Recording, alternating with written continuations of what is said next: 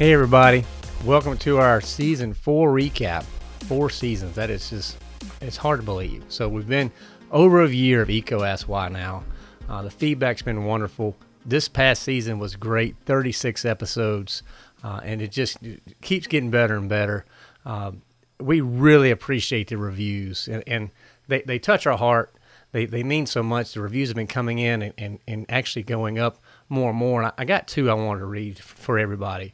Uh, one from Creative Girl 67. Not sure who that is, but she wrote, Tune into this podcast if you're hungry for some truth bombs, big ideas, hero stories, and lessons that would help you grow your business in more ways than one.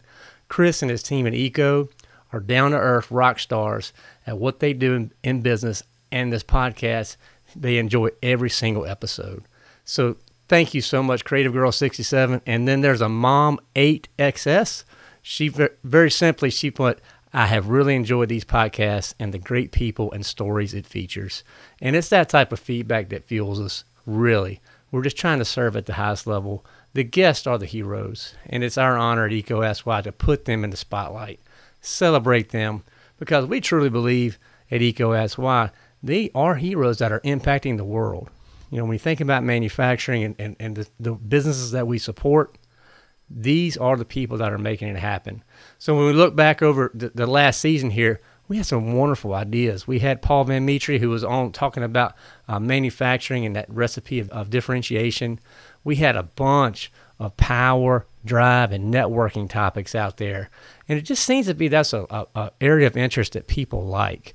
So you know, people that shared there were our, our uh, Vic Perangelo, Chase Belke, who also was one of the, the very first episodes that we worked with, uh, and then Brandon Mendoza as well. And then several guests gave their insight to their specific industries. And I think back on like Claire Stevens when she was talking about being an engineer there at the University uh, of North Carolina State University, rather, and the work that she was doing and then Hussein, who gave us that really cool insight look at that pulp and paper. You know, talk about getting inside of a mill and then seeing it through through his eyes. And then, hey, we got a chance to really break down an amazing book from Wendy Covey talking about content marketing engineered. So just the the ideas were amazing. And then we had the heroes. So the heroes were just so much fun to work with uh, in the last season. Had people like Chris Luecke, our hero right there. He definitely was a, a, lot of inspiration and so supportive as a fellow podcaster. Jay Flores, you had Renee Eddy, Miss Tessa Myers, who took time with us from Rockwell.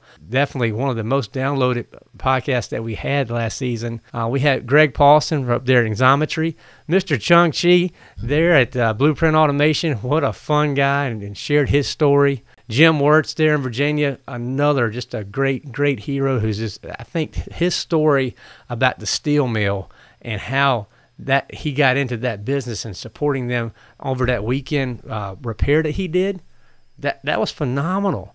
You know, then you had uh, people like Nirpal, who from out there in California just provided so much insight and, and wisdom Mr. Bobby Cole, my personal hero now. I mean, I, I was with Bobby last week, actually able to, to, to build a friendship with Bobby from the podcast. And think of people like Lisa Scanlon, uh, Mr. Preston Hadley out there in Ohio, who is just doing a great job out at Envision. Ray Zaganto, the manufacturing unicorn, world famous guy.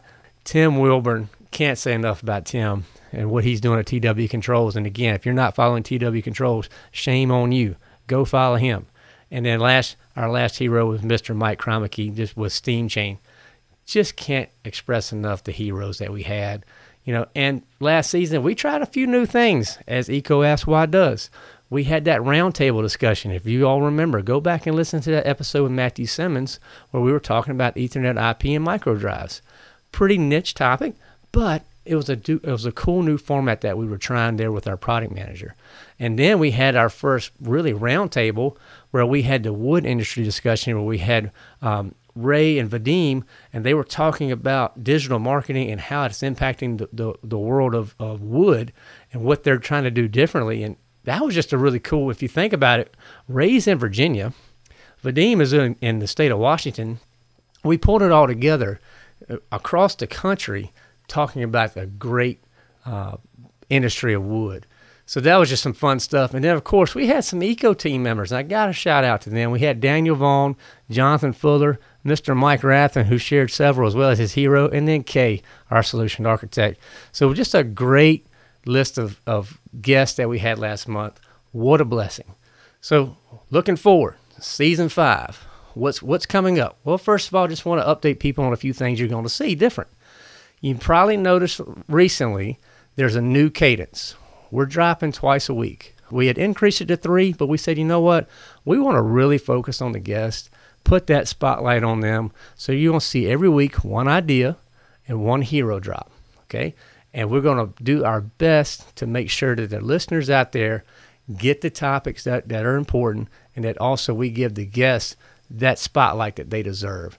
So you can be th- thinking about some topics that are coming, they're, and they're coming down the pike, and I'm excited for them to hit your podcast. Is CMMS, uh, MES systems. We're going to be talking about microgrids, uh, and then we even got a, a, conversation with an author, and she talks about leading with grit and grace. Now I'm just going to let that that hang. I'm not going to tell you who it is yet. You'll have to wait and, and, and get it when it comes out. But when you see that leading with grit and grace conversation, you'll definitely want to jump on that. So, what we're trying to, to do more in the future, well, we're trying to get more insight from people in industry. So if you listen and you're a regular Eco SY uh, listener and, and, and you really find value, send us a message because you're the people that are making it happen. You're making this country grow, and you're the ones that we want to spotlight and put on EECO Asks Why.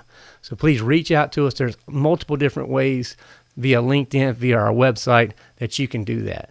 So I talk a lot about heroes and things that are going on in people's lives and families. On a personal note, uh, the Grainger family here, we're expecting an addition in next season uh, to our family. So we're, we're expecting a little girl. We, we've named her Lily Grace. Uh, she's due in August, so that's right in the middle of our next season. We're very excited. Nerves are up.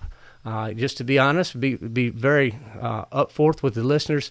Last year we, we lost a child, and, and she was stillborn. It was very traumatic time for our family, uh, and I share this with you all just because I know people out there listening that they care, and you know I feel like our our guests are real with you all, so why shouldn't I be? So we're pumped up, we're excited, we're, we're anxious, but hopefully in August, uh, when we're recording here at the EECO Asks Why studio, we may have to take some breaks from that from time to time because maybe a, a, baby's crying in the background. But don't worry, we'll get that out so you don't have to hear that uh, out there if you're uh, listening to us while you're doing your morning run.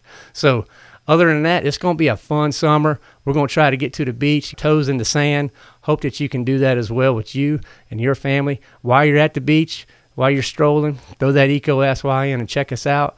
Also, please follow us on YouTube. You'll probably notice we started dropping every episode on YouTube. So you can see our heroes in action. A lot of times I'm making references to things that are in the background. Uh, so if you check us out on YouTube, you'll be able to see that. Uh, Instagram, EECOAsksWhy. Follow us there. Uh, that hits my phone directly. Love to communicate with people there. So we're, we're doing a great job. Our, our marketing coordinator, Andi, she does phenomenal posts and does a great job of putting that stuff out there.